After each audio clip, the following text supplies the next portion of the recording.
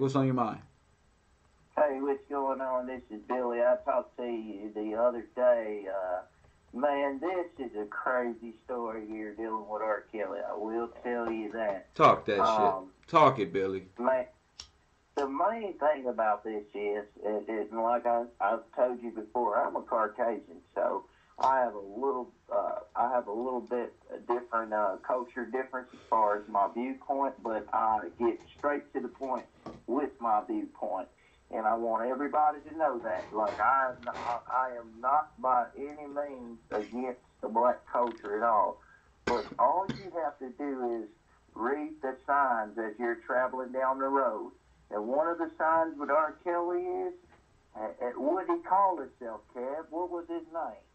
The Pied Piper. I mentioned it earlier. Go ahead. Oh, okay. You mentioned that earlier. I, I'm sorry. I Mm-hmm. No, you're you're you're quite all right with me, my man. Go ahead. But yeah, that whole story talking about the Pied Piper, how he gets the children out after they send them in to get the rats out the village, and they couldn't pay him, so he decided to uh, take the kids out of there. That guy, hey, I'm telling you, R. Kelly is a scandal. I I just don't know what to say, man. I mean, he's just a straight up fraud, man, and he likes the little he likes the little girls' booties and and and, and their pussy. Uh, I see it. Well, And well, I, I, I just really can't explain. he was caught. He was caught on video, and they they said he didn't do it. That makes no sense either, and, and- and that's another thing that just truly does not make any sense. And and and then dealing with him, and you have a lot of people like you've been showing. I, I've been watching for the last five minutes because I've been at work. Uh, I drive trucks and stuff, so I've been at work. I haven't been able to catch the whole show, but I mean, it's a lot of people. It sounds like his story is just like Michael Jackson. Go ahead.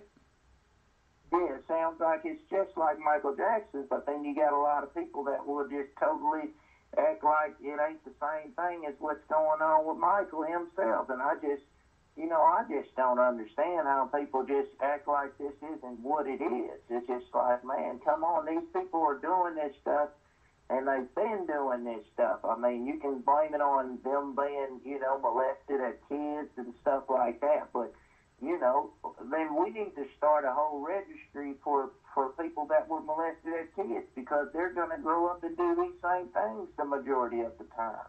Do you think do you think that's that's an accurate statement? Do you have any statistics to back that up, or is that just the way you know we, we kind of see that as America? If, if if if if you get harmed by an individual as a child, you're more likely to repeat that. You know that's kind of like the the overall um, uh, uh, Well, consensus. that's just that's just flat out statistics. If you're able to look it up, um, uh, the majority of these people that are getting, um, you know, that are raping people and they're reporting people being raped, a lot of them have had a similar type of thing happen to them when they were in their childhood. Either they did it or they had it done to them. I mean, R. Kelly was raped as a kid by his uh, by his auntie. Mm mm mm. And a lot of people don't know that. And then at the same time, he was having sex with with Aaliyah and Aaliyah's mother. Hi- hi- And this is His mom, uh, Aaliyah's mom, was in sexual relations with uh, R. Kelly. Is that what you're trying to convey here, sir? with R. Kelly as well. And, and a lot of people don't understand. Aaliyah's mom was in the industry as well, as far as it as it goes. She was. It's kind of like. It's kind of like how LeBron's mom is. And If you ever notice how LeBron's mom is, and I hate to jump on another black man, but I'm just gonna do it. You know what I mean? I don't like to, you know, I don't like to jump on black man. That's, that's just not my thing. But you know, when she was, you know, uh, I've I've got a couple friends out in D.C. and they used to they used to be in the AAU basketball world, and they told me flat out because I used to play basketball about six foot seven. I used to chop down trees and all types of stuff like that. I'm a tall guy, but I just didn't have, you know, that's why I like black people because they're able to play that basketball. Yeah, I will say that. I will say that.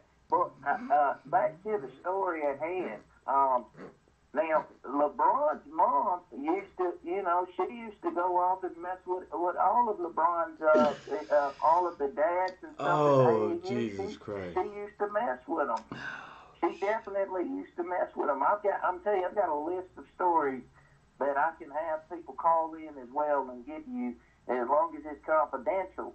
You know, uh, they can call in and they can tell you all these things that have happened, man. These people in the industry, they once they see a little bit of green, they're trying to see what butt cheeks they can slide in between. You know what I mean? Yes. Copy that. Roger that. Thank you. We're gonna try to keep it as clean as we can, but Oh, straight to the point. No, hey, that was that was pretty clean. That was pretty clean.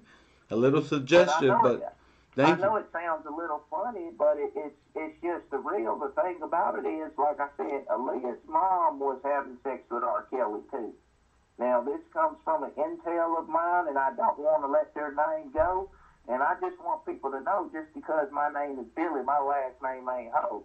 And I just want people to know that I know things just like you know things, and I probably know a little bit more. But what I will say is, he was having sex with Aaliyah and the mother too. And, and, and during the same period of time,